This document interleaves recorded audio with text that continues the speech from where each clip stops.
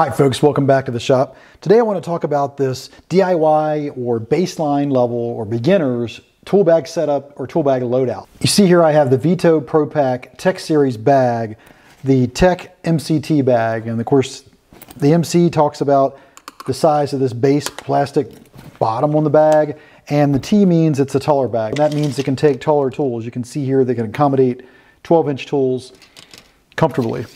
So we're just gonna quickly go around this bag. So we'll start here on this side. Here we got a pair of Mechanix gloves. I like these gloves because there's no strap at the top. So you can just slip your hand in them and you're good to go. I've got these little, I'll have a link to all these things in the description, but I have uh, these glove clips here that you can just clip the gloves and attach them or detach them or whatever you want to clip there. This guy clips on the D-ring here that retains the gloves. Uh, what do we have here? We have a 16 foot Komelon tape measure. It's a nice tape measure, rel relatively inexpensive. Uh, one thing I like about it is you can see that it shows you the fractional measurements on the tape. Not that we don't know what those fractions are, but it just helps you see them and make sure that you can double check yourself and you're right. I've got a Milwaukee compact fastback uh, utility knife here. So you can see we have that guy in there. It fits really good in this pocket. That's why I like it there. Uh, here we have a non-contact voltage tester. This is a VoltAlert from Fluke. You turn it on, go over here and you can see that it detects the electromagnetic field of electricity and it can tell you if something's hot or not. It's just a quick check, not something you want to bet your life on, of course. We flip around to the other side. You can see I have some Teflon tape for plumbing. Uh, we got some electrical tape here. This is a Scotch number 33 tape, so it's a higher quality, thicker tape. Flashlight, I've got an Olight. Any Olight flashlight would be great here, but this happens to be the S2R Baton 2. Fits really nicely in the pocket. I've got a Klein 4-in-1 screwdriver here. Okay, nice compact screwdriver or thermostat screwdriver. You can see it's got the flip bits in it. You can flip it around, get your different size bits. So I can go to a smaller Phillips bit there. Of course, I got flat there. Flip it back, we got a larger Phillips and a small flat there. Fits really good in the pocket here. Next up, we have a Sharpie marker. Of course, that always comes in handy. This happens to be a Bic marker, but yeah, Sharpie marker right there. And let's look at the bag here. Now this is the front of the bag where Veto's logo is. That's what Veto calls the front of the bag. And you see you have these two small zipper pockets here. And you got a couple of D-rings as well. Not really a lot you can do with these pockets. I have them both empty, but you could put business cards up here or hang something off the bag like a tool pouch or something like that, but I don't have anything in there. Really with this bag, what I'm going for is sort of a minimalist, just a baseline amount of tools that you might have the bag weighs about 20 pounds, so we're really going for just a base loadout here. This isn't going to have everything you're going to need in it. So we open the tool bag. You can see we have an assortment of tools here. I'm going to start off with this Estwing 16 ounce hammer. Nice hammer. Uh, fits in here really well in the bag. You can just put this guy in here, put the handle in, turn it. You can see it fits nicely there at the top. A lot of people have trouble fitting these uh, hammers in the bag. A lot of folks want to put the hammer here in the D-ring. You can do that. You can see I can put it in this D-ring on the side of the bag, but it does strike at the bottom, right? So it hits the table there, but it, it could ride there. You could do it, but I want the tools out of the way in the bag, and you can see it fits right in there. That's the way to go, I think, for this tool. One thing I'm trying to do here is keep as few tools on the outside of this bag as possible. Just that way it, it, it, travels better, it can be moved, taken in and out of the vehicle better, that sort of thing. So I want the tools inside. Plus, one thing I've learned with these tool bags is if they completely zip up and shut entirely, that your tools are much less likely to corrode. Uh, this MC, for example, is the base, like I said earlier, that it refers to of the bag. Well, they make this in an open top bag. If you run that open top bag, you're going to find your tools corrode a lot more um, pick up corrosion from humidity, etc., than they do in this fully enclosed bag. So that's one of the, that's really one of the reasons I like a closed bag. Plus, you don't get sawdust or any kind of dirt, as much dirt going in here. One thing I want to show real quick is you see there's a button here on this flap. You can take this button and you can snap that, and you can pull these two zippers up and run the bag like this, or you can pull your zippers down and you know let it hang down there a little bit more. So that's that design. It's one of the nice features of this bag. So really quick going through here, you can see I have a pair of Lineman's pliers here, always handy to have. These are a pair of Klein HD 213 Lineman's pliers. Excellent pair of Lineman pliers. I like uh, Klein Lineman pliers. Uh, here we have a pair of Knipex Cobra pliers, 10 inch. Okay, the number is uh, 8701250. The 250 is in millimeters. That means that uh, in length, that means these are 10 inches in length. If you convert that to standard or SAE, but you can just push this button and adjust these. I think we most folks have seen those somewhere. There's plenty out there about that. These are, this is an adjustable wrench here made by Bahco. The 9031 model of wrench. This is the chrome version. So it's completely dipped in chrome. Um, Snap-on sells the same wrench. It's much more expensive. This guy is a third of the cost of the Snap-on wrench, and I'll have a link to it in the description. But you can see here, you can adjust it very quickly. It's got nice thin jaws. Excellent wrench to have on you. Uh, again, that's a Bahco 8-inch adjustable wrench. What else we have here? I have a Klein 11 and 1 impact. All right, so this is a, like all Klein 11 and 1s. You have multiple tools in here, 11 tools. This is a 5 16 driver. You can see we've got Phillips here. It's got the flip bit style. I got a quarter inch uh, uh, flat bit there. Of course, the whole shank comes out flip it around, and you've got a bit driver here that can drive any bit that you want. So that, that, that comes in very handy. So that's the Klein Tools uh, Impact 1101. What else we have? I have a Klein Tools uh, long shank screwdriver here, made in the USA. I like this because I can pull this down and extend this shank out as, as far as you want. And it's got a line right here, you'll see. Uh, it's got a, a, maximum amount you can extend it out. So if you adjust it there, I, I push it out to slide it in, I push down on this collet to, to extend it out. If I adjust it right there, now you see I have a long shank Phillips screwdriver. Well, let's say you need flat. Okay, well I'm going to push it down, pull it out, push that collet up, slip it in. Now I've got a flat bit screwdriver and I can adjust again to whatever length that I want for this driver. And it also doubles as a driver for a lot of different bits. But I can use this as a driver and I can drive hex bits. So for example, I can take out this Milwaukee quarter inch hex bit or one inch bit driver and I can just pop that in there. And now, you know, I've got a quarter inch bit driver here. So that's what I like about this tool. It's very versatile, a lot of options with this handle. All right, what else do we have? I have a pair of uh, seven and a quarter inch Knipex pliers here. You can see they're the 8701 180s. The 180s, the millimeters, of course. Seven inch pair of Cobra. It's just nice to have a smaller pair to fit in the tight places. Along with that, I happen to have a Pittsburgh Pro 6 inch adjustable wrench in here and uh, works great. It counters the uh, you know, these two together are designed to kind of work together, all right? And so is that Bahco along with the 10 inch Cobra pliers. That's the idea is that they're, they complement each other. What else do I have? I got a Tecton made in the USA mechanics pick in here. Very handy, nice little handle on it. I've got a Icon mini ratchet and bit set here. Just slide this guy over. You can see I have a, a mini ratchet in the bag. So that's another thing about this flap. You can kind of use it as a shelf. So I can grab this mini ratchet here, pop it out. This is an extension, right, for the mini ratchet. Pop it in there. I can pull out any one of these hex bits. Say I want to drive this Torx bit there. So full uh, ratchet set here. Also has a driver in it that allows you to drive sockets right here in the, in the set. So excellent set to have, super handy. Gives you a lot of the bits that you need in the bag in just one set. So it answers the question of, hey, do I have enough bits in here? Well, yeah, you've got a bunch of Torx here. These are security Torx, but that works with regular Torx as well. So you got a good assortment of Torx bits all the way down to these small ones. You got a flat, a small, a big, and a small flat screwdriver. Uh, you come down here and you have an assortment of uh, hex bits, metric, and then if we look here, these are standard. They even put, there's not many here, okay, but you're not going to have many hex standard anyway. But right here we got four hex bits that are standard, and of course some Phillips sizes. And you know, it's an excellent assortment of bits to have in a bag like this where you're trying to carry as few things as possible. So really works out well. What else we got? I got a couple of bit rails here from Makita. This is their uh, 3 8 uh, sockets. They're impact rated, and you can see here if I pick them up, pull them up there, you can see they're etched in there. That's an 18 millimeter Makita socket there. So we have these guys in here, and of course, these are great because I can use this ratchet with these sockets, and I can pull out this three inch extension I have here, right? And now I can take and drive any of these sockets. Now, it's not a full socket set. There's some skips in here and so on, at least with the metric, but the nice thing is you have some sockets on you. And you can use it with this ratchet, and you know you get that kind of flexibility. So just a nice small pear-headed Craftsman ratchets, what this happens to be, but you could put anything in the bag. Three inch extension here, but we're working in 3 eighths is all we've got here, and everything is 3 eighths in the bag. What else do I have? I have a stubby screwdriver here from Klein. It's a multi-bit stubby, it's nice and short. You, know, you pull it out, it's a flip bit style screwdriver. Stubby, it's good when you need it. And I always like to keep a small screwdriver in the bag of some sort. It's an excellent, just flat screwdriver. I find it comes in handy for something almost always. If you don't have it, you'll start to want it, right? Got a uh, flexible putty knife here. Okay, this comes in handy. By flexible, you can see here it's got a flexible piece of steel on it, right? They make them in firm and flexible. Here's a, a firm one, right? Same exact make a putty knife, but this guy is, is firm. Well, I like the flexible better for this bag, especially if you're working with mud or something.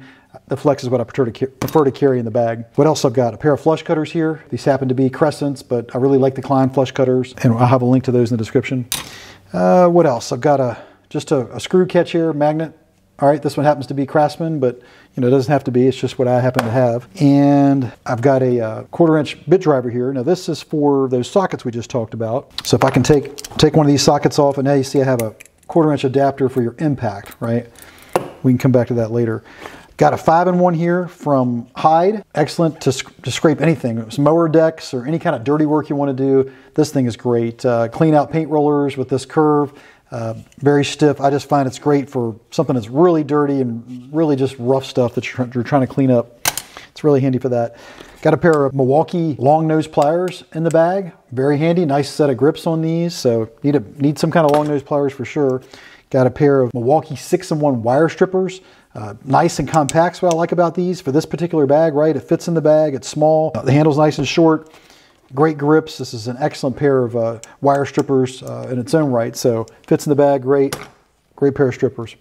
What else do I have? I got a uh, plastic razor blade knife here or scraper. These are extra handy. I tell you, if you're trying to work on something, scraping paint or whatever, and you don't want to damage what you're working on, this will help save you from damaging what you're working on. Plus, it's not nearly as sharp to cut yourself and just very inexpensive, something extra to have in the bag. Here I've got a, uh, a quarter inch adapter, and we'll talk about that here more in a minute. I've got some drill bits here. Just, uh, just three short drill bits here. Usually to do pilot holes or, you know, it's just to have some sort of drill bits in the bag.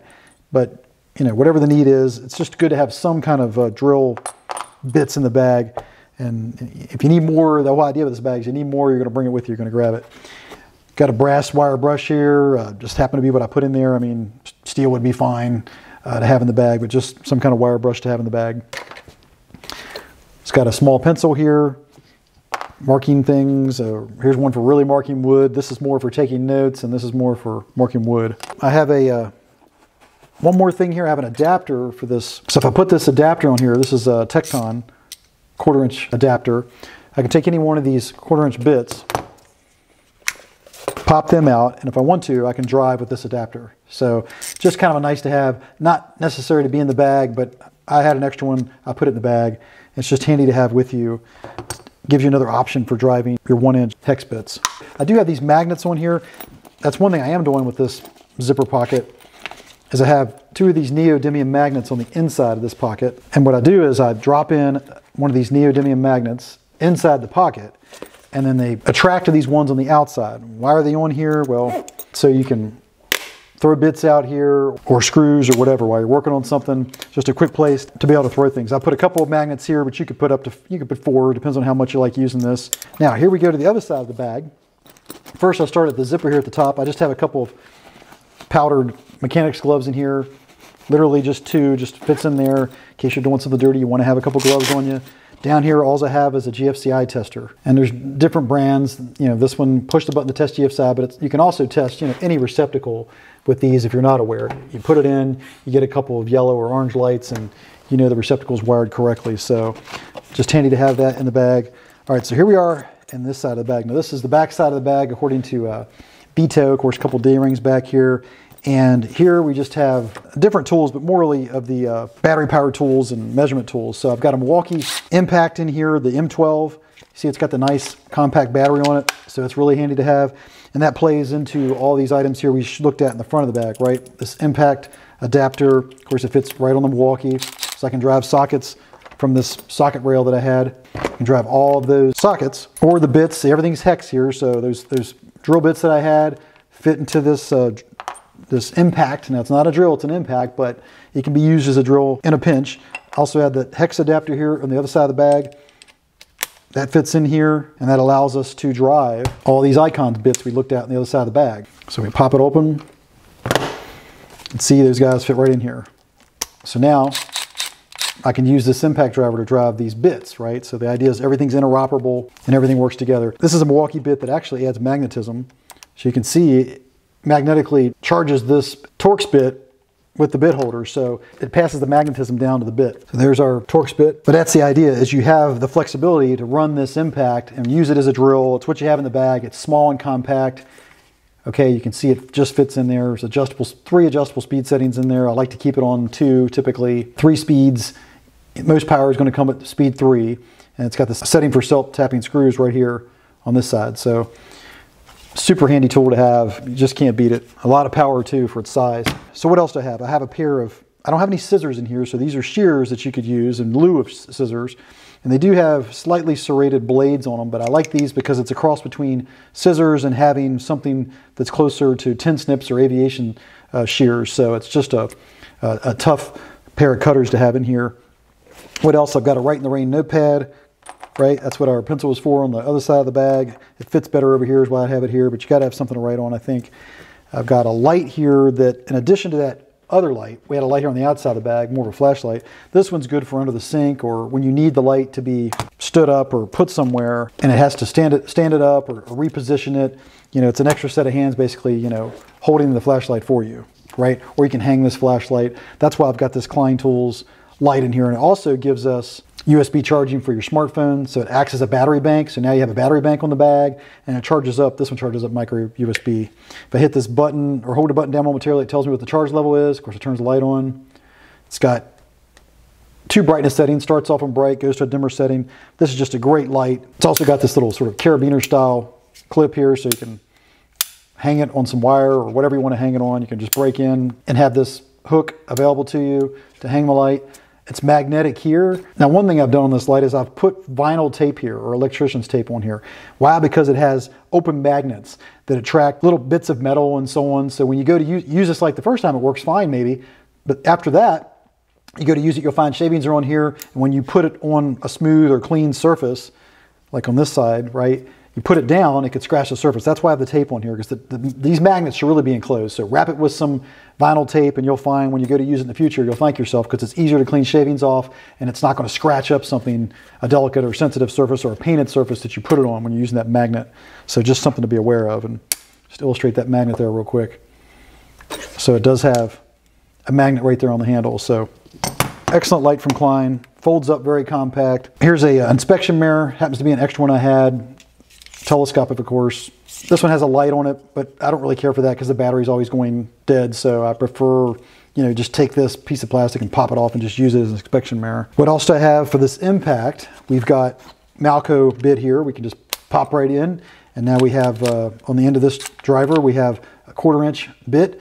What I like about Malco is you can just pull the bit off, flip it around, and now we have a 5 16 bit, which is really common on appliances and you know it's super handy. As I said earlier, you can take this bit and it'll still work with this Klein screwdriver handle that we have. It'll clip in there and you can use it. Now you have the ability to manually turn quarter inch and 5 sixteenths. So that's really handy. I'm just going to put that back in there. And now I always like to have one of these 6 inch Milwaukee extensions. Super handy. Got the C-clip at the top that does a great job of bit retention. Really handy to have this exact size. Sometimes you get into a reach situation where this head of this driver is in the way, and this solves that. What else do we have? Uh, got a torpedo level here. This happens to be a Johnson's torpedo level, but Empire makes one. Lots of companies do. I'll have a link to one. Got a magnet on one side, so it can magnetically attach. You can see there, I just stuck it on that wrench there. Magnet on that side, it's a metal. On this side, just some way to have a decent level on you. I have a 10 inch extension here. It's for that Craftsman 3 8 ratchet, so we can get extension on those bits we were driving earlier, right? You're going to find there's times when the only way you need to do or get to what you need to is to have this reach. I have this multimeter in here. Now, if I hold this red button down, it turns on, and then I tap this button on the front, you'll find it's also a non-contact voltage tester. So I can take it over here, put it by this electrical wire. It's sensing that electromagnetic field just like that Fluke uh, non-contact voltage tester was here on the side. But the great thing about this meter is I can tap this red button, switch it back to auto, pull out a wire lead, put it right here in the back, and now I've got a full-blown multimeter. And again, this bag is designed to be compact. You could have a better meter, maybe you keep a better meter on the truck, keep a better meter in your other bag, but the idea is this is the meter you have with you. Great for testing car batteries or checking a receptacle quickly. Any situation you're in where you need a voltage check real quick or you want to see if something's charging, just comes in ultra handy for that. And you can test voltage very quickly with this. So if I pop these ends off, just pop off this red end, expose the probe, Pop that off, expose the probe. I can now take this, hook it up, automatically detects that it's AC voltage, gives me a voltage reading. There's 122 volts on auto. Or like I said earlier, switch it to non-contact voltage, get it on the hot side of the wire, or I can tap it again and go to live test, and it'll tell me which side is hot, if it's live or not. So just an excellent, compact, convenient multimeter for you, right? Hold the button down, it turns off. Just can't beat it to have something on you at all times that doesn't take up a lot of space. This isn't a bag where you're gonna have everything in it. Now, I pull this out. There's a pair of Carhartt safety glasses. These rated really well. I like the way they fit. They're not too expensive. Up here, we've got some Band-Aids. I just reuse this travel pack. You can buy this at any store really, and I just refill this travel pack to have something handy in case you cut yourself. Bound to happen. This is just a terry cloth. Throw whatever kind of cloth you want in here, but I find it's good to have some kind of cloth on you. You end up needing it at some point. All right, so that's it. That's everything in the bag. And again, the whole idea behind this bag is to have the bare minimum amount of tools that you need. This is again like a baseline set of tools, good for DIY, good for someone's first time tool bag if you're looking to put that together and have a base level of tools to do most jobs like replace a receptacle, replace your kitchen sink, maybe work on your water heater, things like that, that you can do the basic tasks you need to do. If you need more tools, you go and get them. But the idea is you come in and you can pretty much handle or tackle most things with this bag. So uh, I'll have a link to all the items we talked about here today in the description. And please remember to like and subscribe. Those actions help me to continue to bring content to you on this channel. And with that said, I'll see you in the next video.